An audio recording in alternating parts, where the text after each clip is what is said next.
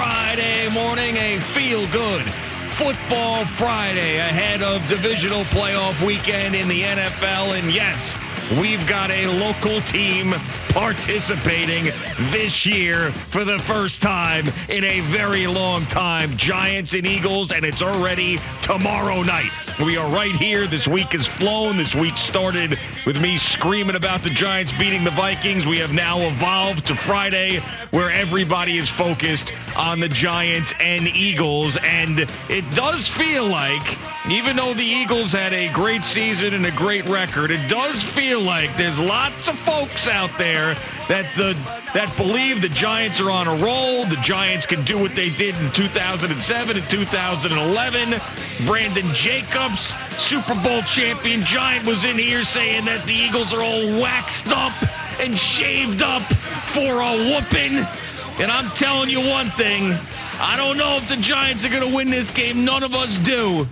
But this team is not going to get blown out, and they're going to give their fans a game. That much I feel confident in. Good morning, Boomer. How are you? Good morning, G. I, I'll tell you, I uh, I kind of feel the same kind of momentum going on around here. Now Yeah. I understand why that would be happening, and we all should be uh, jacked up. And man, I, after a loser night last night for all the pro teams, uh, three hockey teams and the Nets. Uh, you would like to think, hey, you know, can the Giants do everybody a favor around here and show up on Saturday night and win? And I'll add two more to that. Jerry's Rutgers team did not win, and Eddie the jockey's pick did not win. Oh, this man. was a full blown 100% loser night. I'm telling you, I'm, I am not digging coming in here. Then I mean, I, we got to do something to change the mojo around. Maybe a sacrifice or something. A human sacrifice, a something. I goat sacrifice. Maybe what do you we- want to do? I don't know. Maybe we could have Al and Jerry do like one of those slap fights that are seem to be Oh, popular no. now these oh, days. oh days. my God, you see some of these videos? Yeah, It's I see all the videos. I'd say Al and Jerry should do that. Well, and, you know, me and Gallo did it. Remember that? Yes, Gallo and I yeah, did that. yes. And he won. He smacked the hell out of me. I told him, go for it. Come on, do it.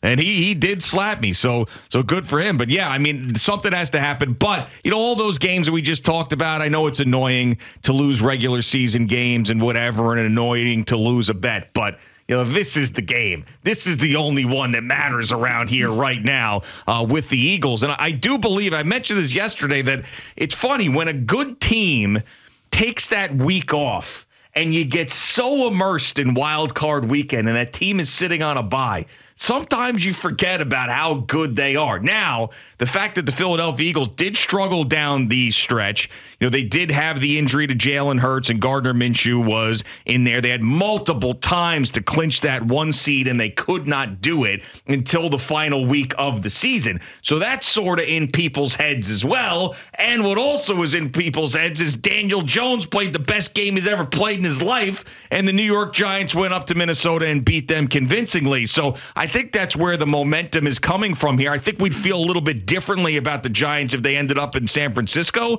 this week, but there's something about the Eagles and the way that people are viewing them right now that feels vulnerable. It feels like they can be had. Now, is that the case?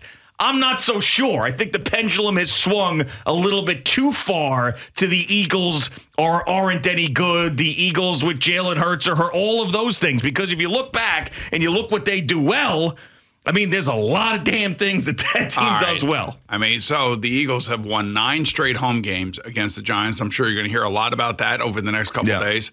A uh, couple other things. Uh, the Eagles literally have one of the best rosters in the NFL. They're right there with the 49ers. Uh, Howie Roseman, uh, you know, has done, has done an unbelievable job. He really has. And I mean, the offensive and defensive lines. And I told you, four guys with double digit sacks, 70 sacks throughout the year. I mean, Daniel Jones is going to have to be the guy that we saw last week. I don't, I'm not saying you have to do any more hurt, hurt, was it, um, Herculean Yeah. uh, efforts, but I, I, it's got to be an effort that's going to be similar to last week.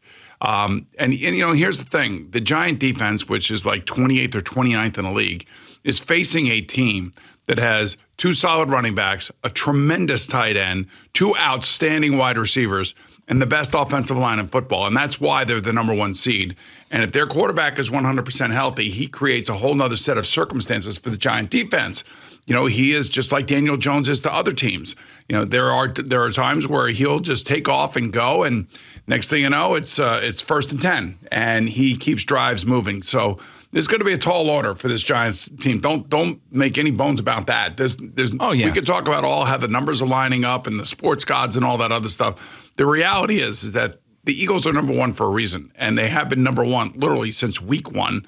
And they had a little bit of a stumble there towards the end, simply because Jalen Hurts got hurt. But he uh, he is a he is very difficult to stop, and I just everybody's just got to pump the brakes. It's not going to be an easy game by any stretch no, of the imagination. No, no, no. I don't think anybody thinks it's going to be an easy game. This I just think be, it's just one of those things where as the week has gone on, it's sort of like you know more belief, more belief, more belief. But the reason why that is is that you know the last time we saw the Eagles, they were struggling a bit in the second half against the the Giants backups and the last time we saw the Giants, a rested Giants team, they just won a playoff game and looked better offensively than they ever have. now, remember, like, remember, remember, how that game went uh, in was week? When were they here? Week fourteen or yeah, something? They, I mean, they killed them. The Eagles killed the uh, Giants. Yeah, they absolutely. You could see it on display. It was, yeah. I think you felt like the game was over you know, like within the first 10 minutes. Like sure. you just knew that they were a much better team. And the Giants aren't who they are today. They they've kind of straightened some things out and certainly they're healthier on defense than they were in that game, which is uh, you know, in the secondary, which obviously is going to be very very important in order to win. I think you know, when I when I think about what it's going to take for the Giants, they certainly can't turn the ball over. They're going to have to get at least a plus two or a plus three in this game. Uh, their their special teams are going to have to do something special. Literally, either box the uh, you know the Eagles in when they're punting. How you know.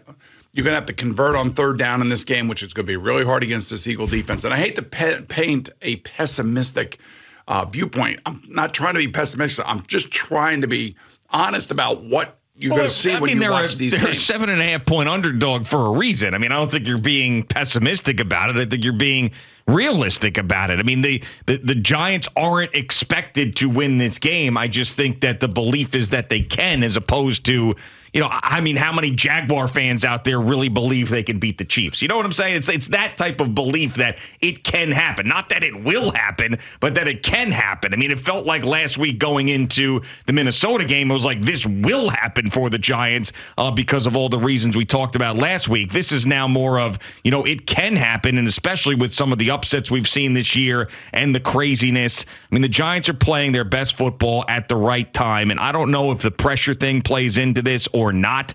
You know, where the Eagles have to win this game, the Giants, you'll hear it fast and loose and everything else, and the pressure's not on them. Dude, and no one uh, expected them to be here and all of those things. I don't think it really plays into it all that much, but that's been all the talk. Be interesting to see how the rookies do. You know, Kayvon Thibodeaux and Evan Neal. Yeah. Uh, in this game, because the strength of the, the the Eagles, the really underlying strength of the Eagles, are their offensive and defensive lines.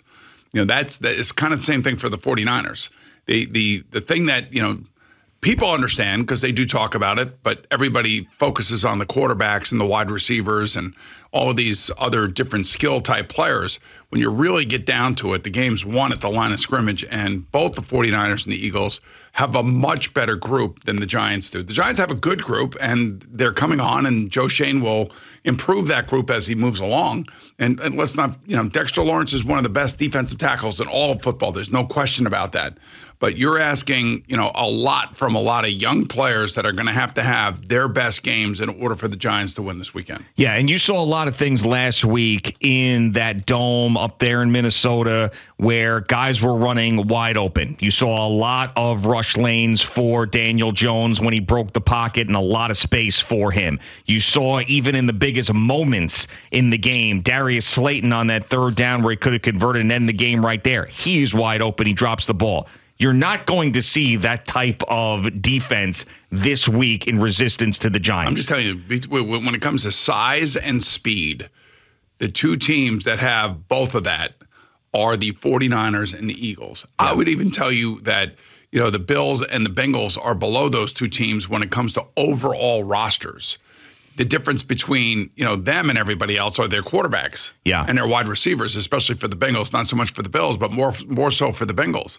But I, you know, this this is a really you know good team, and you watch you go back and you look at some of the tape from some of the earlier games. I mean, they have manhandled teams. I mean, they have just absolutely steamrolled people. Yeah, I mean that was more earlier in the year, and that you know they have a very large point differential, which is something everybody likes to look at with some of these matchups. But yeah, Daniel Jones is not going to get the same opportunities running the football this week. He's not, and and he may he may have some success with some design runs because Daboll and Kafka are very very crafty with that, and they can figure schemes out and give Daniel Jones an opportunity. But those broken plays where he is out there and running, you're going to see the Eagles do a hell of a lot better job in containing him. And I think that if the Giants do win this game, Daniel Jones is going to have to have a repeat performance of what he did in Minnesota. Yeah, no turnovers, man. You can't like. I, he is just going to. He'll be under pressure this whole game. I mean, and he knows it going in. I think we all know it going in. Uh, that there's going to be pressure around him, and you know he he's he's handled it for the most part this year. Uh, but then when you combine their cornerbacks versus the Giants' wide receivers, I mean, everything tells you that there's no way the Giants can win this game. But there's one thing that that the Giants have going for them is that they don't know this. They don't they don't believe that. They believe that they can win.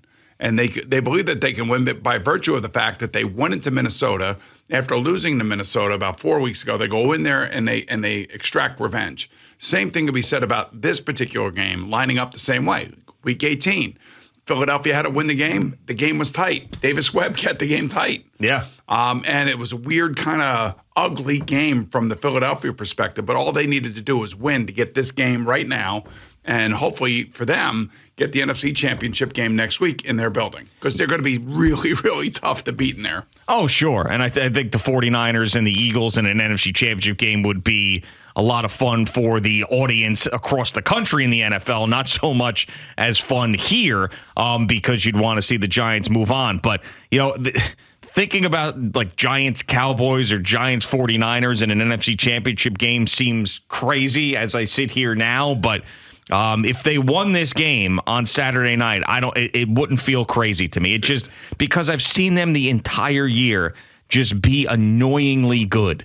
You know, make the plays that you have to make to win the games, you know, and and if they somehow, you know, can neutralize what they do offensively, the Philadelphia Eagles, buy a turnover, buy a big special teams play, something like that, then they're going to even the playing field and they can they can win the game. Possession now, time, possession time is another thing. In yeah. other words, you got to convert and you got to hold on to the ball, and and you, you know it's because of the pressure and because of the intensity that the Eagles defense does bring to a game, you know, you go into the game as the quarterback saying, okay, I don't want to make any mistakes. I certainly you have to be really careful, but I also don't want to speed up my game. I don't want to speed up it. I don't want to speed it up in my brain where I'm playing uber fast and making mistakes that way either. There's a there's a balance that you try to find, and I think I feel like Daniel has found that balance as a player. Um, I, but you know, I just think he's going to have to be he's going to have to be spot on. That's all. That's all there is to it, and he knows it, and we all know it, and it will be interesting to see how he handles this pressure that's going to be intense from this Eagle defense. Yeah, and these guys like Isaiah Hodgins, and obviously Slayton's been around, but Isaiah Hodgins, Daniel Bellinger, Richie James, like these guys who have stepped up the entire year that are totally unexpected, you get another chance to shine. And I think there's a lot of people that think that, you know, the, the clock is going to strike midnight. They're going to turn into a pumpkin. It's going to, eh, this can't continue. But I mean, I think it can. I mean, I don't I don't believe that Isaiah Hodgins is a fluke. And he is now a big play guy for them. He is someone that's got to get 75 yards receiving in a game like this to keep up with what the Philadelphia Eagles do on offense. And that's certainly a tall task, and it's a very tall task against the corners that the Philadelphia Eagles have, but they're going to need that from them. I mean, and that's why the Giants have been good this whole year and are in this position you know, they have squeezed out every single bit from the players that have been on the field the majority of the year. Now, Kenny Golladay has not been on the field, so you could say that that guy and Kadarius Toney they're gone. But the guys who get regular playing time essentially have been at their best. You know, Evan Neal's a guy who's a rookie. He's been up and down, and maybe you're a little bit worried about him going into this game. But for the most part, you know, everybody's played their best game. Well, just remember that, you know, you're going against a completely different animal. Yeah. Everybody knew and everybody felt that Minnesota Vikings were flawed on defense, and yeah. it showed itself. uh, there's not going to be that much space on this field. No. Again, size, speed. Uh, I would also say experience and a young quarterback. The only I, look if if he ends up running and ends up hurting himself again or re-injuring himself, then all bets are off Sure. because that's a different team without him. No matter what Micah Parsons says, that is a different team without Jalen Hurts. He is the guy that makes the whole thing go. So there's always that opportunity or chance, I should say, that he may end up getting hurt. And if he does re-injure his collarbone, which is which I believe it is, and I've been telling you that for weeks now, Yeah.